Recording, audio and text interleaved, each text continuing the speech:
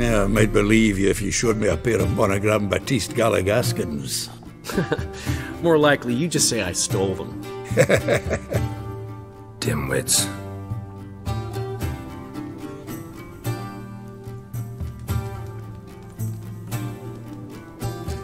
You were supposed to be somewhere? I was. Fine. Where will you meet? Near the huntsman's cottage. Old man always had a soft spot for me. He could sense I was a family man. A man of peace. Good natured, like himself. Would have never crossed his mind to disown me if it wasn't for that hag I call my sister. You've got it tough. We'll eat more Roof grain over your head, that's something. get. When the black They've ones laid taken siege all our to grain. They burned the outskirts. Gotten cold. Hey! Bloody hell! it tough. Ow! With oh, roof over your head, that's Blowing something. When the black ones laid Help siege me. to Vizima, they burned the outskirts to the ground. Lovely. Damn witchers!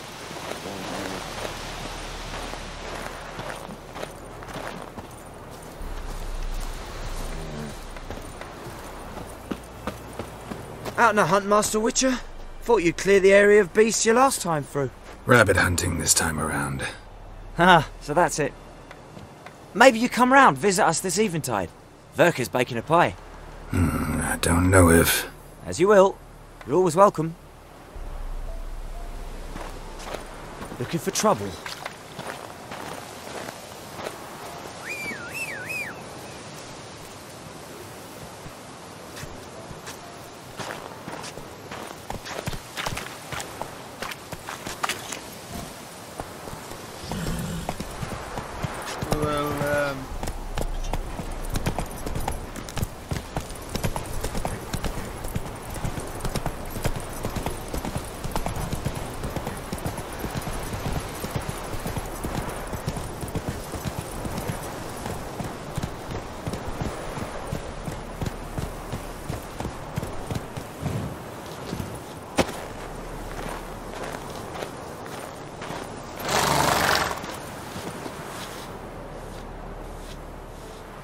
She's gone. Mad she had to wait. No, eager to roam the fields. Prepared the cover scents and oiled the jaw traps all by herself. Make a good hunter, wouldn't she? Nah, too impatient that one. Probably snatching rabbits barehanded, putting them in the traps because they're too slow to step in themselves. Where'd she go? Not far, over yonder. Farewell.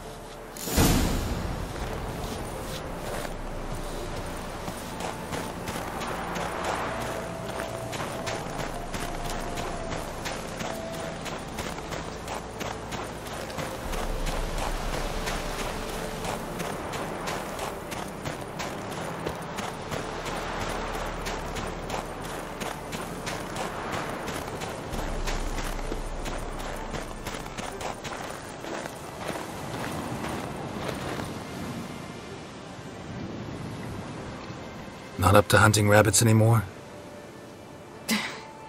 Not really. What now? Nothing. Just sitting, waiting for you. It's nice here. Ah, wait till you see Dol Blathanna in winter, and the Blue Mountains. We'll head east soon as the snow melts. Think we might have settled in a bit too much. You promised to show me that griffin's nest before we left. Let's go now.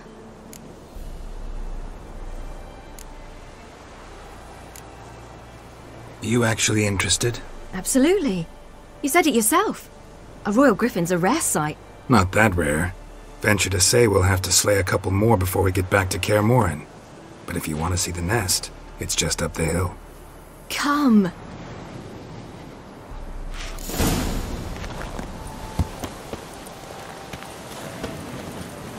Hmm, Geralt? We were supposed to train today. Uh-huh. Tomorrow at sunup then? Work you hard like I did in the good old days. Probably been a while since anyone showed you just how much you still have to learn. Hmm.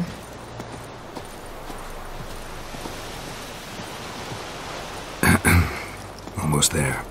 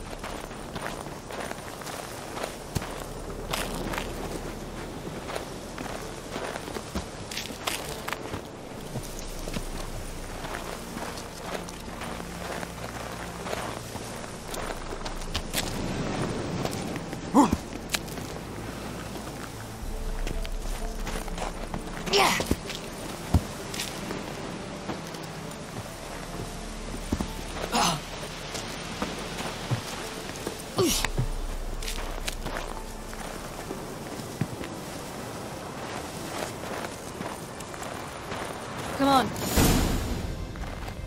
Careful now. This is no time for you to lecture me. Ciri, wait. There's something in there. We really don't need to play hare and hounds. Ciri! What now, you What?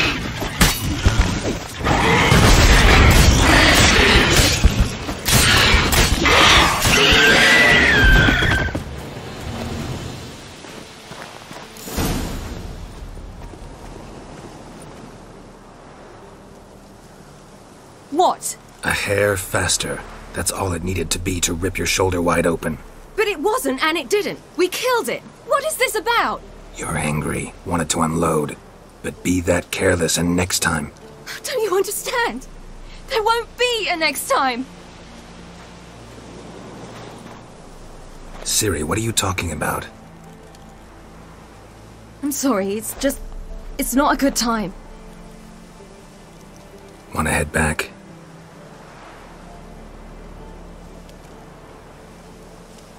Alright, enough. Let's go fishing.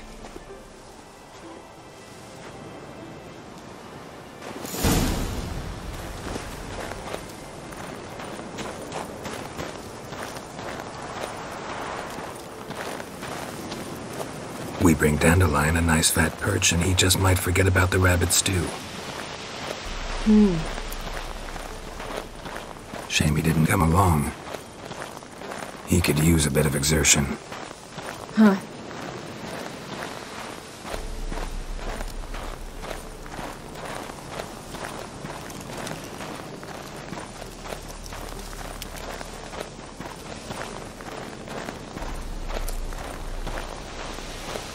Ice shouldn't be too thick here.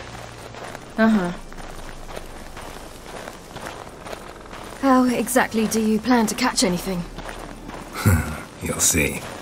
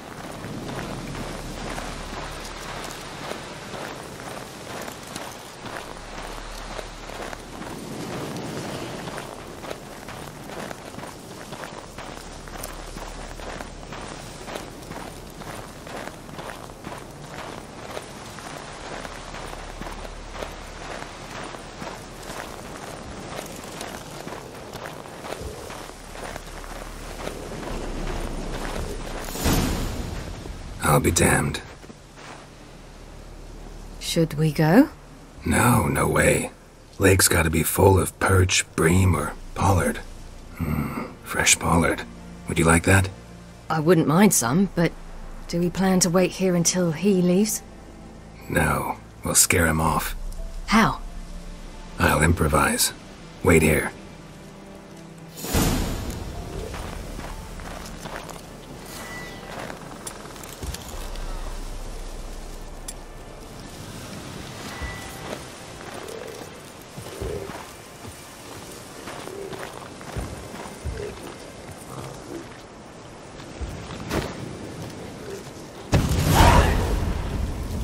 An old witch's trick for tough winters.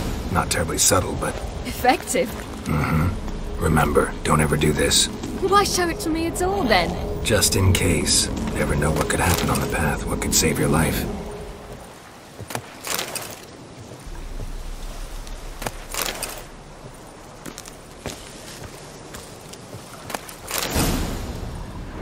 All right, let's go. Who taught you that? Vesemir. Long time ago. How long? Very. Back when I wanted to call myself Geralt Roger Eric du Haute-Bellegarde. What?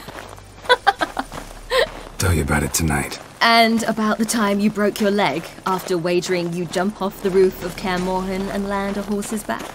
Hmm. How do you even know about that? Eskel told me. But I want to hear you tell it. I'm certain you have a rational explanation.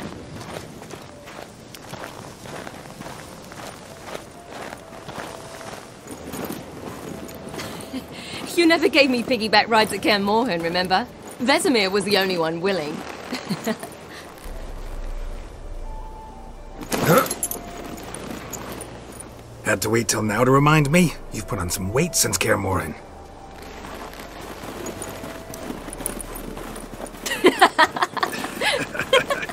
Oh!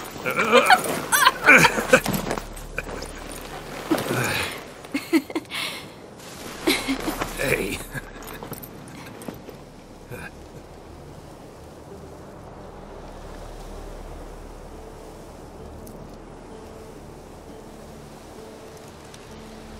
Ciri, We should get back.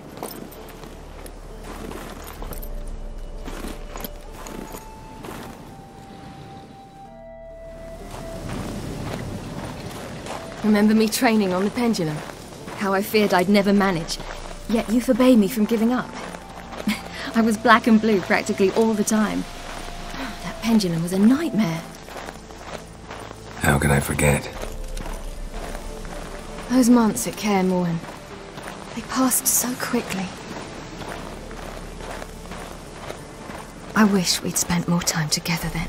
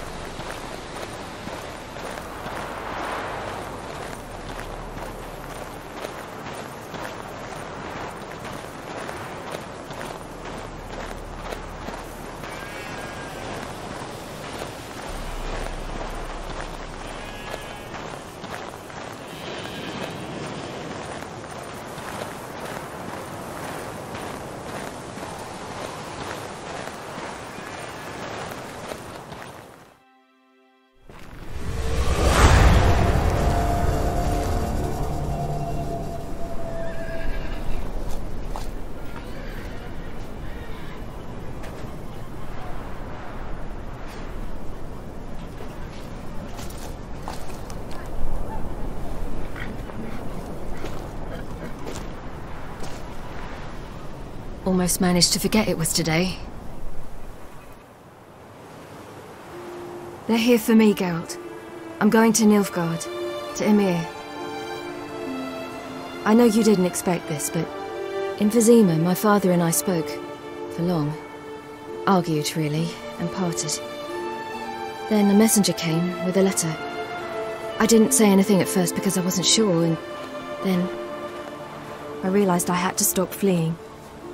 I realized that if I wish to change anything, I cannot do so hunting monsters round forgotten villages. I must do so from there, from Nilfgaard.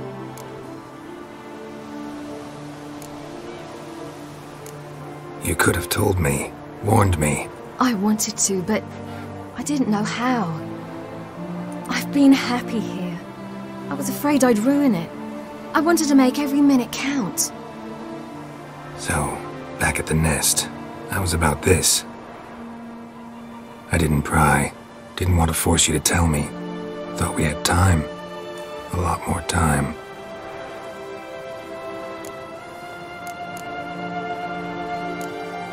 You make this choice on your own? If you mean to suggest Yennefer had anything to do with this, then the answer is no. Great. She even know? No. And I'd prefer she not get involved this time. I'll let you tell her that. Is this what you want? Yes. You'll not try to stop me. Take me to the Blue Mountains by force. Traveled half the world to find you, but I never intended to force anything on you. I know. You'll be fine. You're a Witcher. We needn't say goodbye.